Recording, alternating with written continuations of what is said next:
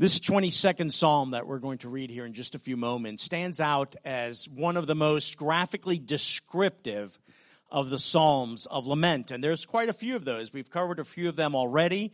Uh, Psalm uh, later on in the Psalms, we're going to see other Psalms of lament. But there's a, a graphic description of the kind of trouble and distress that David, its author, found himself in.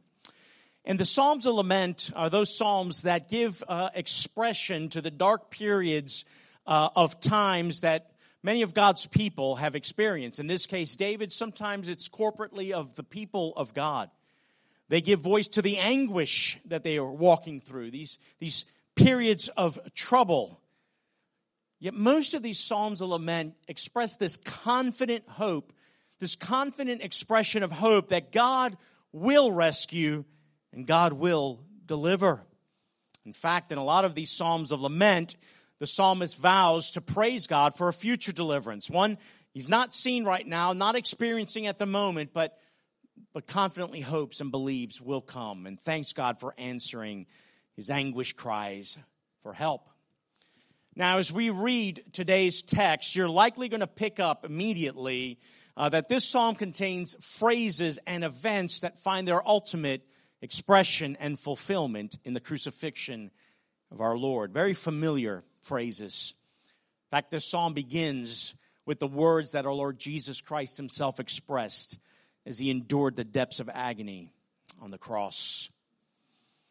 Consider that this is a work of poetry written some 1,000 years before the events of the crucifixion and what they describe it's going to give us a glimpse, just a small glimpse into the suffering of Jesus like no other part of the Bible gives us, with the exception of maybe the Gospels themselves.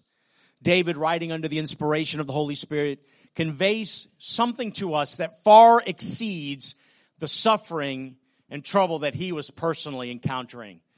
Namely, it's pointing and conveying the sufferings of Christ on the cross and the subsequent triumph that this psalm expresses here, that David experienced, looks ahead to God's ultimate plan of salvation, the establishment of his kingdom through his Christ, and the worship of the nations that are going to pour in, and his kingship that will span the generations. I'm going to read the first 21st verses of Psalm 22, and then we will pick up a little bit later the second portion of this psalm. Hear the words of the living God. My God, my God, why have you forsaken me? Why are you so far from saving me from the words of my groaning? Oh my God, I cry by day, but you do not answer, and by night, but I find no rest. Yet you are holy, enthroned on the praises of Israel. and you our fathers trusted. They trusted and you delivered them. To you they cried and were rescued. In you they trusted and were not put to shame. But I am a worm and not a man, scorned by mankind and despised by the people. All who see me mock me. They make mouths at me. They wag their heads. He trusts in the Lord. Let him deliver him. Let him rescue him, for he delights in him. Yet you are he who took me from the womb. You made me trust you at my mother's breasts. On you was I cast from my birth, and from my mother's womb you have been my God. Be not far from me, for trouble is near, and there is none to help. Many bulls encompass me. Strong bulls of Bashan surround me. They open wide their mouths at me like a ravening and roaring lion. I am poured out like water, and all my bones are out of joint. My heart is like wax, and it is melted within my breast. My strength is dried up like a potsherd, and my tongue sticks to my jaws. You lay me in the dust of death. For dogs encompass me, a company of evildoers encircles me. They have pierced my hands and feet I can count all my bones. They stare and gloat over me. They divide my garments among them, and for my clothing they cast lots. But you, O Lord, do not be far off. O you, my help, come quickly to my aid. Deliver my soul from the sword, my precious life from the power of the dog. Save me from the mouth of the lion. You have rescued me from the horns of the wild oxen. This is the word of the Lord. Now, fully two thirds of this psalm are taken up with David's recounting of a specific time of trouble, a dark period in his life. I mean, that's what we're looking at so far. These are not good times. Uh, these are not happy times that David is telling us about. But what was that period of dark time? We have no way of knowing. Uh, the title of this psalm doesn't tell us anything about a specific time in David's life, but we do know there were many such dark periods in his life. Like there are many such dark periods in our life. Maybe we wouldn't use these particular expressions to describe those troubling moments in life, but I think all of us uh, can sympathize with some of the expressions David gives us here. But whatever that dark period he was going through, it seems intense. Uh, the description of the trouble we just read graphically depicts a level of darkness and distress, uh, but it doesn't seem to coincide with a specific event in David's life, at least not when you read through the narrative of David's life before he became king and after he became king. We don't see an event that maybe rises to this level of anguish and despair and trouble that David seems to be describing for us. We have to remember that this is poetry, after all, don't we? He's using poetic expression. You know, when we think of some of the songs that we like and the, the, songs that a lot of artists use, there's a lot of poetic license, right? People who write works of fiction use poetic license to describe things, and there's hyperbole and there's like exaggeration and vivid imagery. Uh, and, and that's what David's using here. But it doesn't diminish the fact that he was walking through troubling and dark times. Now, we're going to reinterpret this uh, psalm in light of Christ, as he is its ultimate fulfillment. And we're going to see that in the movement from, from trouble to triumph in the life of David here in this psalm. Uh, but ultimately, we do need to read this from the perspective of its author and what it meant to the particular author in his time. Uh, that's how we rightly read Scripture here. Now, the psalm opens with this anguished cry from David.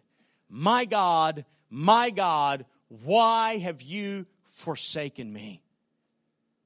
God, why are you so distant? He expresses here that he's crying in the daytime and there's words of groaning and, and, and night falls and, and he can't even rest. He's tossing and turning in his bed. Where are you, God? Why don't you answer me?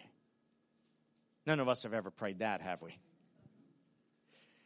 have been many times in David's life, possibly, that he felt this way, where he felt forsaken by God. He was beset by enemies intent on killing him. Saul sought to kill him. All of the enemies that surrounded Israel sought David's demise. We already looked at Absalom, his son, who usurped the throne, and David had to flee for his life. Why have you forsaken me? It's an agonized question. I mean, he's perplexed. He's perplexed by God's silence. He's not hearing from God. He's not receiving a response from God. He's disturbed by God's absence in the face of his trouble. Where are you, God? Have you ever prayed that? I think we all have. What David experienced is real. What David feels as he's penning these words is things that we have all experienced. We can sympathize with this expression. Times where God does seem distant, He does seem remote, where it feels like God has, has checked out on us where he's been really slow in answering our prayers. We pray and pray and pray, and the answer just doesn't just doesn't seem to come. And we feel guilty. We feel guilty because if we really believe in the promises of God, if we're really trusting in God, then maybe we shouldn't feel this way. And, and, and maybe you share that with some uh, well intentioned uh, brothers and sisters in the Lord, and they're telling you just trust God. You shouldn't feel that way. If you really believe God, you wouldn't feel like He's forsaken you. Yet we do. We, we do feel this way. And, and I can tell you time and time again as I've, I've read the Psalms and prayed through the Psalms, I am so grateful that God's Word and these Psalms of Lament give voice and expression to how we honestly feel at times. That we don't have to come before God with pretense. No, we, we, we feel like He's forsaken us. We feel like He's abandoned us. We feel like He's distant and it would be right for us to then ask God, where are you? Because This is what it feels like. And far from it being something rare in the Christian life, it's a frequent struggle. It's a frequent struggle of the Christian life. We go through tough times. We go through hardships. We go through real trouble and we feel forsaken. There's nothing easy about this life. It's fraught with challenges and many troubles. But we can talk to God like David talked to God. Isn't that good news? Isn't that awesome? We can, we can ask God. We can feel this way. We can express lament just like the psalmist. And you know what's awesome? It doesn't rock God. He's not taken aback. He's not shook up that his kids feel like he's forsaken them. What this psalm points to uh, proves that we are not forsaken or abandoned by God. And we're going to see that. And certainly we are not forsaken or abandoned ultimately in the end. Now, there are three specific thoughts that seem to heighten uh, his feelings of God forsakenness. And I want you to see these quickly here. And, and while they're heightening and aggravating those feelings of God abandoning him, I, I think they're also kind of stirring up his faith in a way a little bit and stirring up his confidence in the Lord. Uh, first, in verses 3 through 5, he, he recounts the faith of, of his ancient fathers. He says they, they trusted in God. They cried out to God and they were delivered. The holy God, the Holy One of Israel, that God had not failed those previous generations of saints. So why does he feel this way now? Secondly, in verses 6 through 8, he recounts the scorn and mockery of his enemies. He says they make him feel like a worm. Because I don't even feel like a man at the moment. I feel like the lowest of the lowliest of creatures, a, a slimy worm. That's how my enemies make me feel. They mock me. They scorn me. They jeer at me. And they say, well, he trusts in God like his fathers did. Why isn't he rescuing him now? And David's wondering why his experience isn't like his father's, for he trusts in God. So they taunt him. Let him deliver him. He trusts in the Lord. Will God allow them to continue to blaspheme him? by his silence or apparent silence. And thirdly, in verses 9 through 10, he declares that Yahweh has been his God from the womb, from the birth. He was set apart, devoted to the Lord. Yahweh is the one who made him to trust in him from the time he was nursed. How could he abandon him now? So these thoughts lead him to make his appeal, his plea to God in verse 11 Be not far from me, for trouble is near, and there is none to help. Now, I don't think David lost his faith. And I don't think many times when we feel abandoned or forsaken by God or that He's silent, that we necessarily have lost our faith. But, but this troubling situation, whatever it is, has left him disoriented discombobulated, right? Depressed on the account of the fact that God is seemingly absent. And that's exactly our experience in troubling times when we feel God forsaken. It's disorienting. when we think of how God has just so gloriously rescued us and saved us, when we, when we think about our salvation and what God has brought us through, and then we get hit with something hard. We, we get slammed so hard, and it is so jarring to us, and our faith is tested. And we could feel like this, like God is distant and, and silent. And, and our thoughts could be like, well, God, we, we've seen you come through for others, right? Why not me? I, I've seen how you brought this so and so through their troubling situation, Lord, but what about me? Or we might even say, God, you've done it for me in the past. Why not now? Why am I not experiencing that in the moment? We have people around us who don't follow Jesus, who mock our faith, who delight in maybe seeing us suffer and go through hardship because we follow Christ. So, why would God remain silent and let them blaspheme his name? We can readily identify with David in his trouble and his feelings. Now, in 12 through 21, and we won't go through those particular scriptures there other than to say what we find here is David describing his enemies in great detail. And, and he's describing the physical, mental, and emotional suffering he's enduring at their hands. And, and the way he depicts his enemies is with this animal and, imagery here of, of, of bulls and dogs and lions. And then lastly, he talks about uh, the, the company of evildoers, right? The, the metaphors he describes uh, of them as ravenous and bestial and powerful and savage and with, with lethal weapons ready to inflict harm upon him. His enemies are all around him. They encircle him. They encompass him, gloating and mocking and sneering, humiliating him. His physical strength is gone.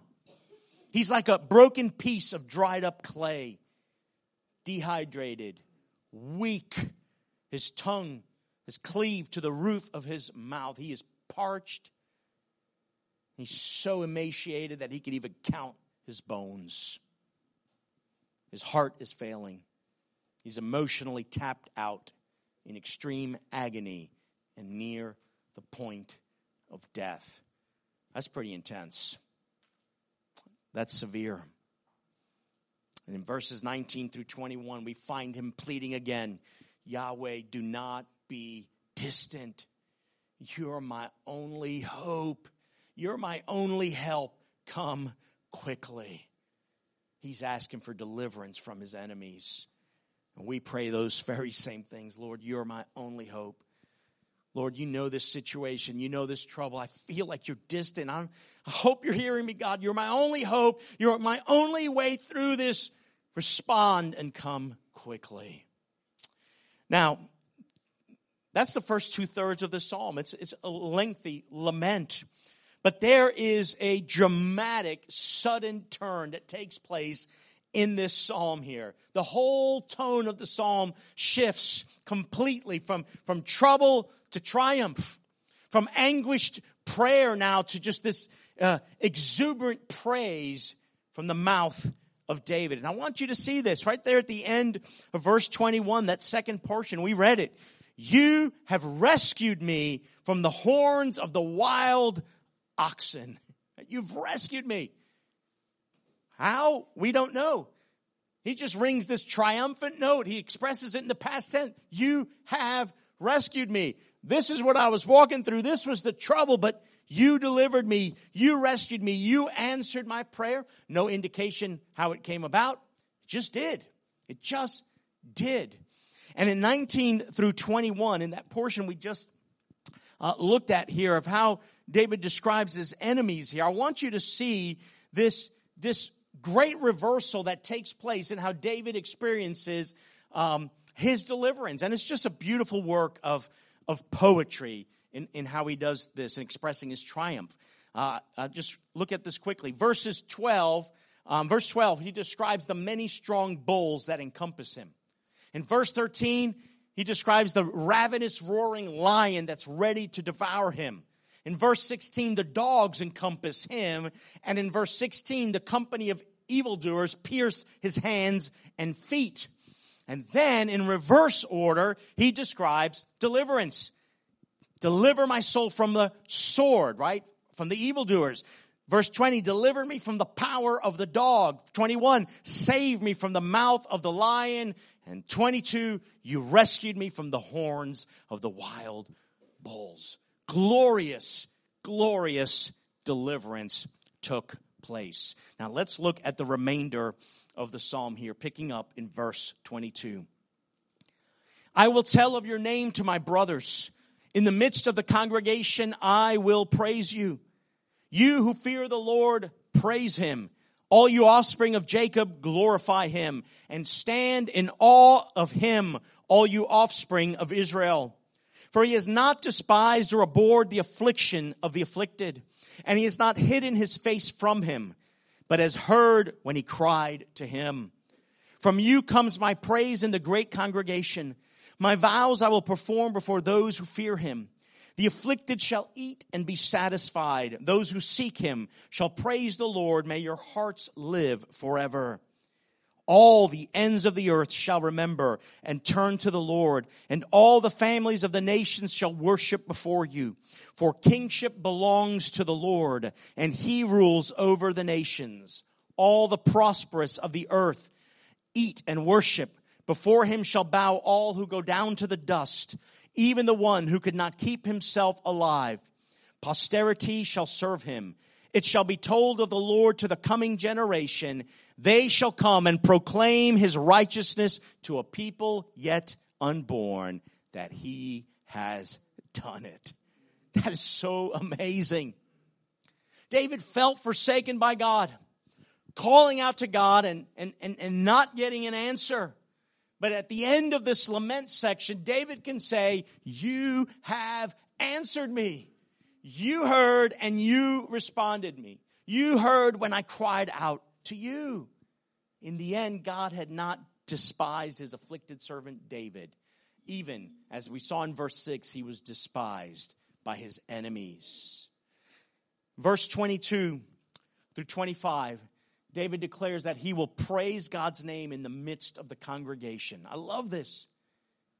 Like, he's not going to keep the good news to himself. He's going to praise God not just privately, but publicly. Like, all of Israel will hear how God rescued him and delivered him. They will hear David praise God for his salvation, bearing public witness of God's deliverance among his own people. Now, he's taken his praise public. I love that. There's this, this, this element here that of those who've experienced this glorious salvation and deliverance, right, can't keep it to himself. David cannot keep this to himself, and he can't even conceive of praising God alone. He's going to show up in the midst of the people and declare the praises of God and God's salvation and deliverance. And he's going to exhort all of his fellow sufferers and fellow afflicted to seek God and to praise God because God has not hidden his face from them. We also bear this, those of us who've experienced salvation bear the same missionary impulse here to publicly proclaim and praise the salvation of our God. In fact, in verse 23, he commands the people of God to praise God. God's people are commanded to praise Him, to glorify Him, to stand in awe of Him. It's a command. How much more we who've experienced salvation through Jesus Christ should be praising God, not in the secret place, not in our little prayer closet, not in the privacy of our homes, but publicly in the congregation of the saints and publicly everywhere we are and everywhere we go. Because this is what David now begins to look to. He takes on a, a prophetic role. There's a forward look now at the end of this psalm to the conversion of the nations because the worship of Yahweh grows ever larger. It starts in the congregation and it spreads to the ends of the earth. The circle of worshipers ever expanding until all the families of the nations of the earth are worshiping the Lord. David there declares, For kingship belongs to the Lord, and he rules over the nations. This is the everlasting and universal dominion of Yahweh, his eternal, everlasting rule. And David's posterity will continue to herald the good news of Yahweh's salvation and righteousness to subsequent generations. The generations yet unborn, they too will praise him. Seems like the goal of this psalm for the people of God, for Israel, right, in their history, was to praise the Lord who just led his anointed king through whatever trouble he was going through, like to experience this great salvation and deliverance and triumph that will eventually lead to all the nations worshiping the Lord. Now, that didn't happen in David's time. So, this is pointing us to something else. So, we looked at the trouble David was in. We looked at his praise of God's deliverance for the triumph he experienced. And now I want us to look at the telos of Psalm 22 the fulfillment, the goal, the end, the ultimate end of what this psalm points us to the greater fulfillment in Christ Jesus. Now, we've seen this repeatedly in all of the Psalms. All of the Psalms point us to Christ. Indeed, Jesus himself said that that's what the Psalms do point us to Jesus. Everything in the Psalms, right? Um, so we've seen this pattern of David's experience foreshadowing the pattern of experience fulfilled in Christ. And hopefully, as we read this psalm, if you weren't familiar with it, as we went through that first part, you would see that the quick application to Christ's passion to his suffering at his crucifixion, his suffering and agony on the cross.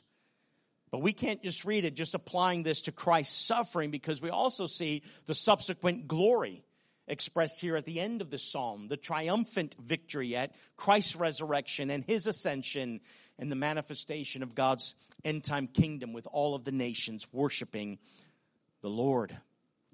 This particular psalm is the most quoted psalm in all of the New Testament. Now, Psalms is already the most quoted Old Testament book in the New Testament, but this particular psalm is the most quoted psalm. Over 22 times, this psalm is alluded to or referenced, mainly in the Gospels, but about Jesus. Luke 22 44, Jesus said to the two disciples that he had encountered on the road to Emmaus, and then he, he, unveils himself before their eyes, but he tells them that everything written about him in the law of Moses, the prophets, and the Psalms must be fulfilled. So when we look at this particular psalm and we see the, the parallels and the correlation to the, to the suffering of Jesus, his passion here, we have to interpret this in light of the suffering and glory of Christ. Whatever David's experience was, when we read this psalm backwards from Christ, we see that David was inspired by the Holy Spirit to write this psalm in such a way to convey something far more significant than whatever it was that he was going through whatever he went through, whatever trouble it was, there's no way warranted the graphic and vivid description that is then applied to Christ at his crucifixion. How else could we explain all of the prophetic detail found in this psalm and then fulfilled in Christ? And I love portions like this because once again it gives us evidence of the authenticity of Scripture. This was a thousand years before the crucifixion, a thousand years before David even knew. Nobody even knew what crucifixion was, Roman crucifixion. Yet, there's this prophetic account given for us. And I want us, the best way for us to see it is to see it in the gospel accounts themselves. Uh, in verse 22, 18, David writes, They divide my garments among them, and for my clothing they cast lots. I don't think that really happened in the life of David but he's using this language to express the humiliation he was walking through and encountering. But look how John sees this John 19, 23, and 24. When the soldiers had crucified Jesus, they took his garments and divided them into four parts, one part for each soldier, also his tunic. But the tunic was seamless, woven in one piece from top to bottom. So they said to one another, Let us not tear it, but cast lots for it, for it to see whose it shall be. We also see Matthew and Mark uh, reference this as well. But look what John adds. Look at this note.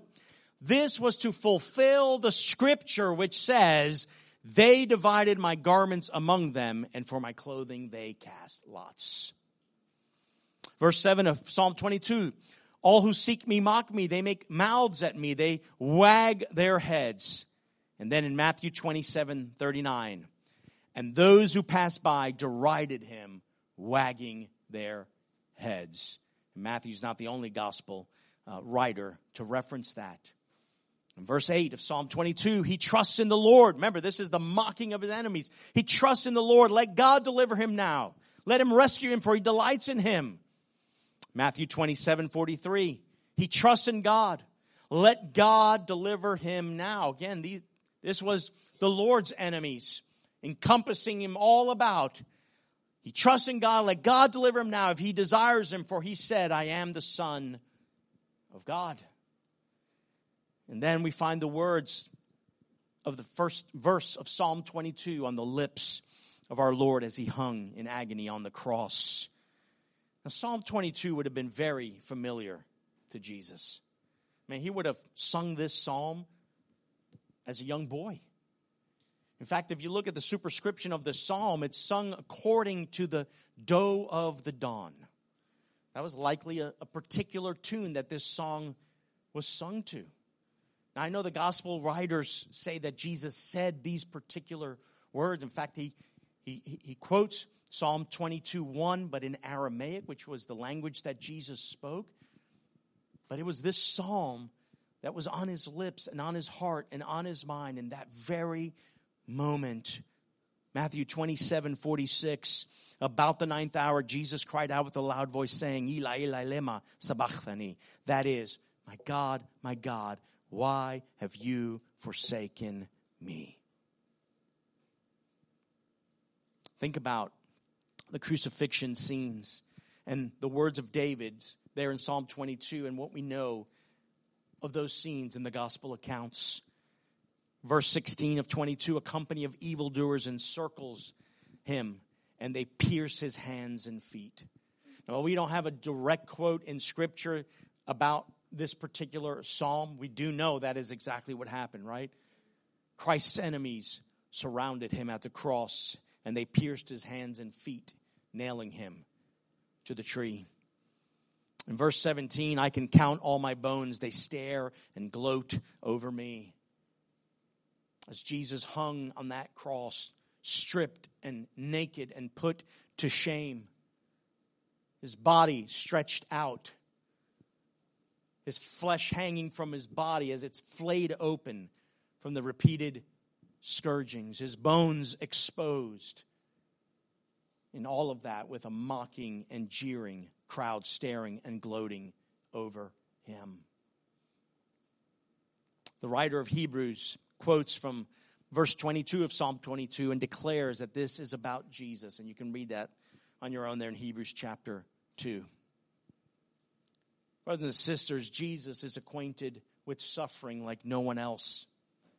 Isaiah declares that God's servant will be a man of sorrows, despised and rejected by men, afflicted, pierced, and crushed. No one could express that kind of anguish and experience the kind of agony and anguish that Jesus did. Yet David expresses that prophetically, and we see its fulfillment in Christ Jesus. But Jesus didn't just suffer. The psalm is part lament, but it also is part triumph, right? There is glory on the other side of the suffering. Jesus suffered and then he was glorified. Jesus suffered and then triumphed and is victorious over the death, over death and the grave. More than that, he ascended and sits on the throne of glory. What is he doing now? He's reigning. He's ruling in fulfillment of God's covenant with David. You recall that in 1 Samuel. God made a covenant with David, an unconditional covenant, that David's offspring would sit on his throne and his kingdom would be an everlasting kingdom. And his kingdom now is expanding as the gospel is preached and proclaimed. That's what makes Jesus a marvelous Savior. one who is worthy to be praised by us continually for our salvation in him. You and I get to join in this praise chorus of the Old Testament saints. As David commanded them to praise God, glorify God, and stand in awe of him, we continue in that same stream today, an endless chorus of praise that continues until we will behold with our own eyes what John, the apostle of the Lord, saw in his heavenly vision. I want you to see this in Revelation chapter 7, a familiar portion of scripture to many of us, verses 9 and 10. But John sees what David describes looking out ahead at the end of Psalm 22. After this, I looked, and behold, a great multitude that no one could number, from every nation, from all tribes and peoples and languages, standing before the throne and before the Lamb, clothed in white robes, with palm branches in their hands, and crying out with a loud voice Salvation belongs to our God who sits on the throne and to the Lamb. All the ends of the earth shall remember and turn to the Lord, and all the families of the nations shall worship before you. And that's what John saw. And that's what David saw as he's, he is seeing this through the eyes of the Lord's anointed, his royal descendant, the Messiah. You and I are going to have trouble in this world you and I are going to experience exceedingly difficult times. We will feel disoriented, depressed, just like David, feeling like God has abandoned us, God has forsaken us, God is distant, God is not near, God isn't hearing our prayers. But we're never truly abandoned. We're not really forsaken. And we're not ultimately forsaken in our trouble. For one day we will enter into our everlasting triumph, the triumph that Jesus secured for us. In John's vision, there, I, I just want to read the last portion of that in, in Revelation chapter 7 because it ties so well to what John saw and wrote about in Psalm 22. Revelation 7 14 through 17. Therefore, they, this is the multitudes worshiping from every tribe and language and nation. They're before the throne of God and serve him day and night in his temple. And he who sits on the throne will shelter them with his presence. They're not forsaken. They shall hunger no more, neither thirst no more. The sun shall not strike them, nor any scorching heat. For the Lamb in the midst of the throne will be their shepherd, and he will guide them to springs of living water, and God will wipe away every tear from their eye. Never forsaken, but for, forgiven. Clothed in Christ's royal robes of righteousness, sheltered by God, so that we could worship Him and praise Him from everlasting to everlasting, because He is God and God alone.